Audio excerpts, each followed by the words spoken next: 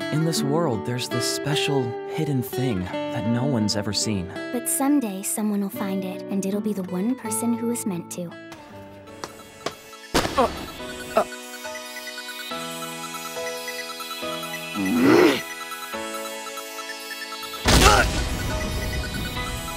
Yep, that's a perfect name for her.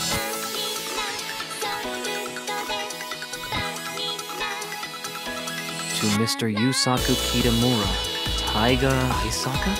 Forget about it. Forget. Stupid! Love letter! The envelope was empty!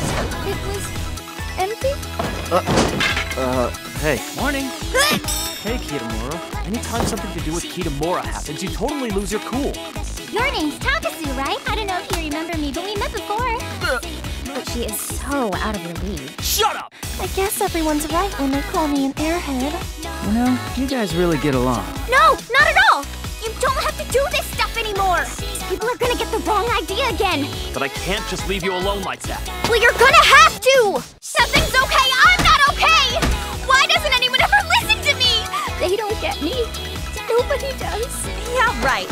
Like I'd show anyone what I'm really like. Be honest with yourself. No regrets. Falling in love with you was the best thing that ever happened to me. I wonder what you'd do if I decided to show you the real me. If you run through the halls and trip, you get a nosebleed. If you go through life and trip, you cry. I'm a dragon. You said you were gonna stand by me. You're a tiger.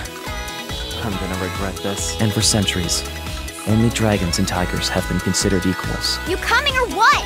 I'm coming. Because that's the way it's meant to be.